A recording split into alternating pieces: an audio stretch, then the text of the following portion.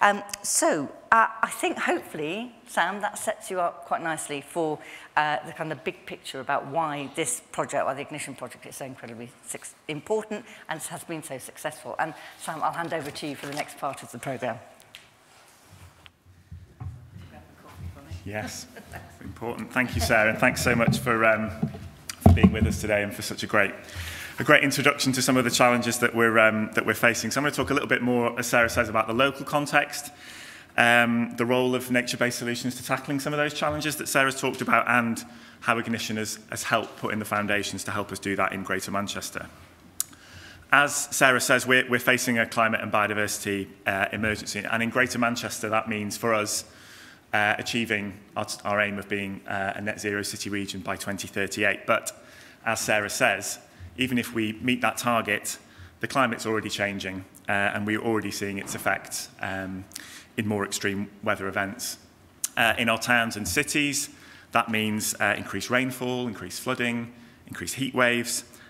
um, and they're already challenging the limits of our, of our built environment in our, in our towns and cities. In Greater Manchester, we'll have, um, by 2050, 30% more rainfall in the winter and summer temperature summer temperatures are 5 to 6 degrees warmer than they are today. And I think just yesterday, the Met Office uh, increased by one degree the temperature that must be reached for a heatwave to be triggered across most of eastern England. Um, so this is already happening, it's already here. And as, as Sarah said, the effects of that will be felt disproportionately by our, our most disadvantaged communities here in Greater Manchester. And at the same time, nature will also be on the, in, in the at the forefront of, uh, of feeling the force of those impacts, the damage to our biodiversity and the ecosystems they, they support. Um, and those impacts will only get worse um, as the effects of climate change become increasingly apparent and if we don't tackle that adaptation gap. And that's the gap between uh, the, the climate risks we face and that are increasing and the action that we're actually taking uh, to combat those risks. But as Sarah says, there's reason for optimism. Nature can help us uh, bridge that adaptation gap and integrating nature into how our towns and cities work, how they run, how they function, um, can help us adapt to the impacts of climate change. And this is our, our green infrastructure. And, and for us in urban areas, this means using natural solutions, green roofs, green walls, sustainable drainage systems, um, street trees, green spaces, to help, um, to help our urban areas and those that are most uh, at risk adapt to climate change. And, and at the same time as bridging that adaptation gap, we know that those solutions and, and what you can see on the screen here um, provide space for biodiversity. They can help lock up carbon. And they provide so many of those other wider benefits that, that those of us in this room know, know about for health, for well-being, for amenity, and for things like air quality as well. So they just tick all of the, the boxes that traditional solutions, pipes, uh, tanks, barriers, barrages, they can't compete with, with the multiple benefits that nature-based solutions uh, provide us with. And over the past few years, we've developed, the tools have been developed to help us understand uh, those benefits. Uh, in Greater Manchester, we've used those to, to take a natural capital approach. So understanding and valuing uh, our natural assets and the, the value that they, they provide us with. And our natural, natural capital accounts in Greater Manchester show that we get over a billion pounds of benefits each and every year from our natural environment, from our green spaces, from our uh, trees, from, from all of that green and blue infrastructure. Um, but despite those benefits, their, their potential is undervalued, and we have some fantastic demonstrator projects in Greater Manchester. We've got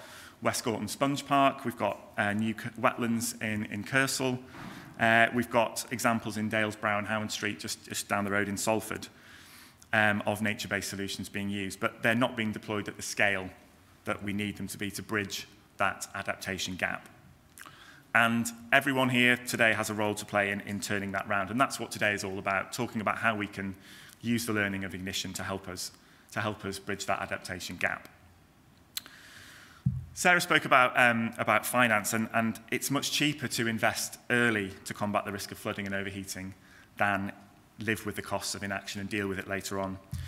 But as well as that adaptation gap, there's also that gap between um, in, in finance and funding. So for, for natural flood management alone, that's one part of adaptation. That's estimated by the Green Finance Institute to be 350 million pounds in the UK. So that's the gap between what, what needs to be funded to, um, to adapters in just that one part of adaptation. And that's part of a broader um, gap of 56 billion pounds to meet the wider nature-related outcomes that we need to see in the UK and that the Environment Act and the government's 25-year environment plan wants, wants to see in the UK. And that gap can't be met by public funding uh, alone, and we need to leverage in private finance to bridge that gap. Um, if we think about uh, our drive to net zero in the UK, um, private investment's been brought in successfully in, in things like offshore wind, so it can, it can and has been done in the UK.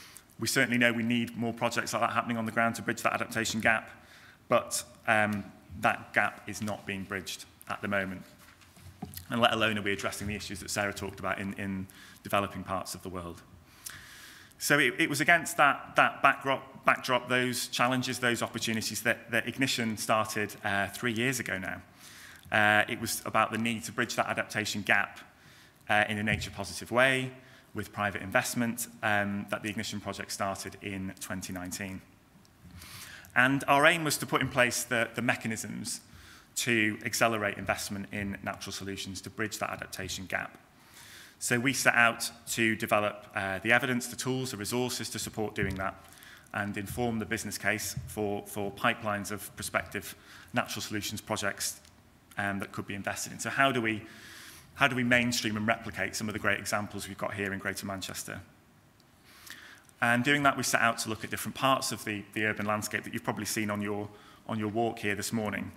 Uh, so we've got land around buildings in urban areas, we've got roofs, we've got parks, we've got our streets and highways.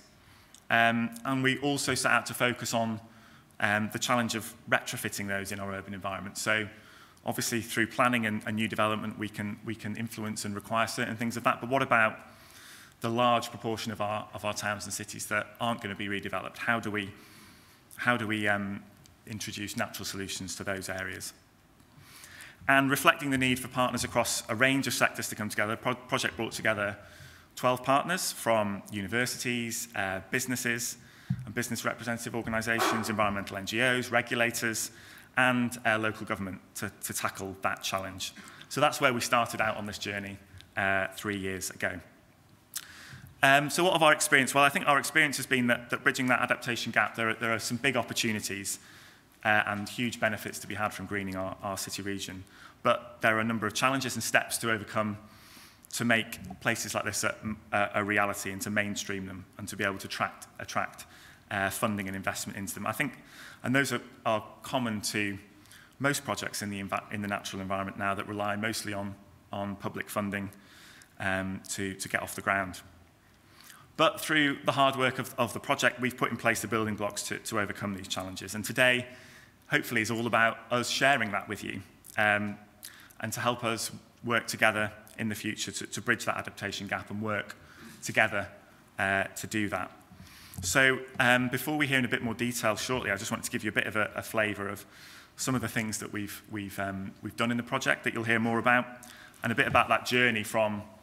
um, conceiving of, of, a, of a, a green space and natural solutions to actually getting to the point of, of, um, of seeing them and seeing them being invested in on the ground. And the first step along that journey really is, is proving the benefits of nature-based solutions and demonstrating the benefits that these sorts of, these sorts of projects have. And through, um, through Ignition, we've um, developed, for example, a comprehensive uh, evidence base of MBS benefits, and, and partners here are already using that to build the business case um, for their natural solutions projects, and we're going to hear about some of those later on. Uh, adding to the examples that I mentioned earlier, there's also the Living Lab at, at the University of Salford, which Norhan will talk about later. And that, that, as hopefully many of you will have seen yesterday, is a living demonstration that the benefits of natural solutions um, can have on a particular site.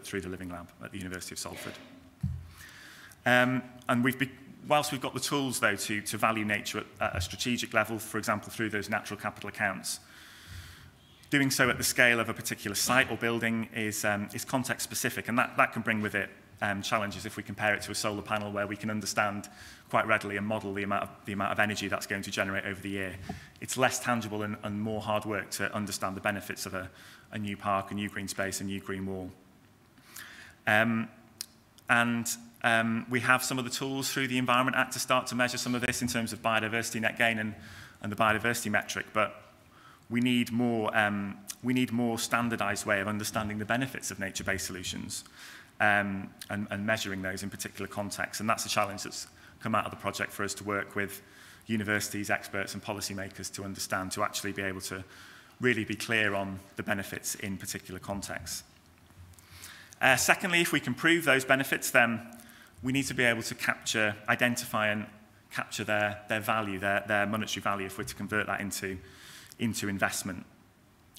Um, we need to put monetary values on those benefits and be able to, to capture them and have somebody pay, you know, capture them to pay for the costs of doing this if we want these to become mainstream.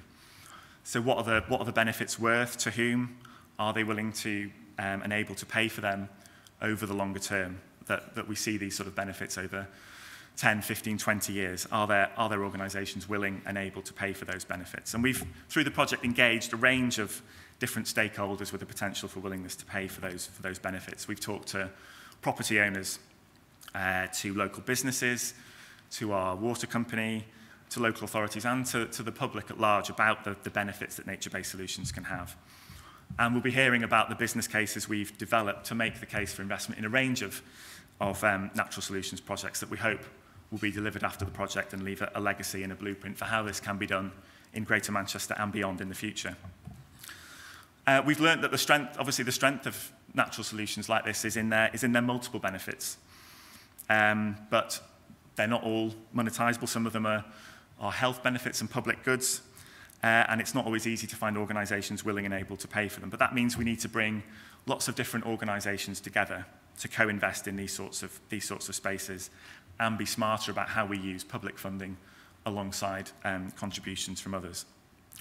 And partnerships are, are really important in doing that. Um, and the challenge for us in Greater Manchester and the combined authority is continuing to, to work with you and, and support all the efforts going on in, in Greater Manchester to focus on delivering um, more projects uh, like this. So thirdly, there's, there's then the step of, of if we can identify those benefits, if we've got people wanting to see these projects happen, is developing that case for investment and getting ready to deliver those, those projects. And we'll hear a bit more about this in, in the rest of this morning's, um, this morning's talks. Um, to do that, if you've got multiple different organisations coming together, you need the right sort of structures in place to be able to do that, particularly if, um, if private investment is to be secured. And um, Ignition has supported, up, supported the, um,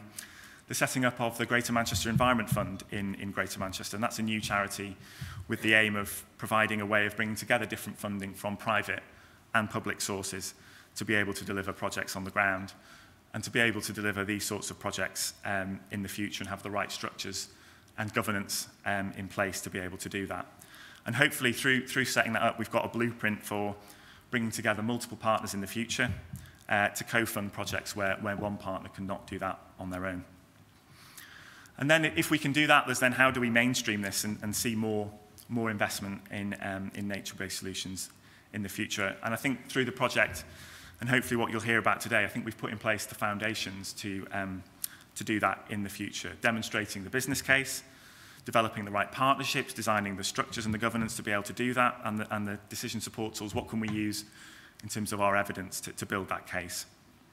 And over the next 12 months, we want to start delivery of the, the pipeline of projects we've identified through Ignition and that we've developed, um, and use, um, use public funding smartly alongside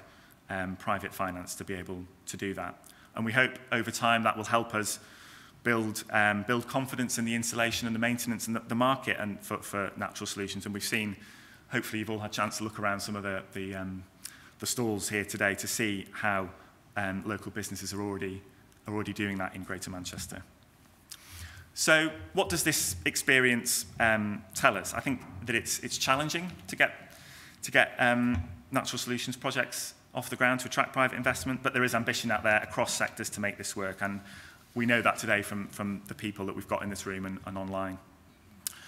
We understand the benefits of nature and we have tools to understand the value of that and particularly the value that that provides us over traditional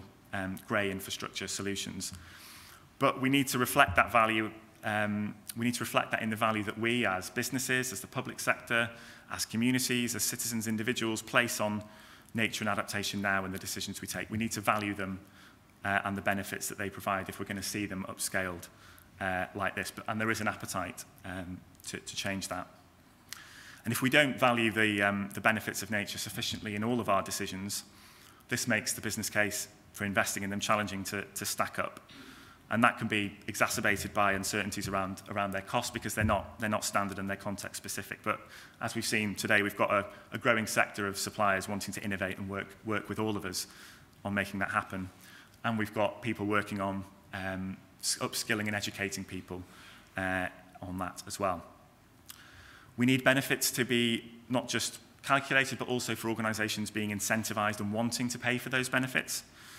Um, do they re relate to a cost saving or an income for an organisation?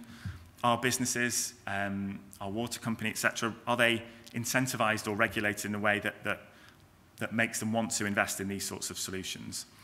And that is being increasingly recognised by government and, um, and our regulators as a barrier.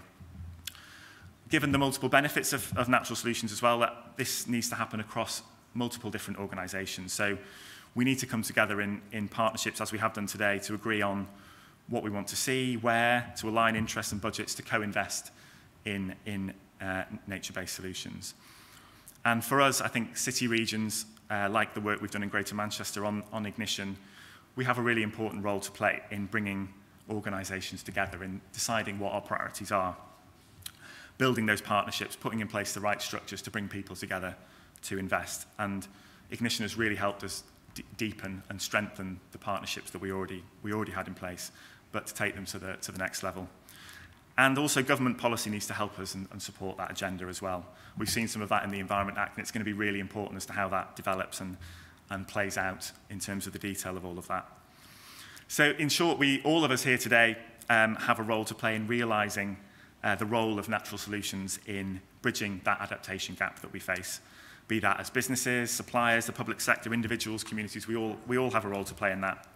And through Ignition, we've put in place the foundations to help us do that in, in Greater Manchester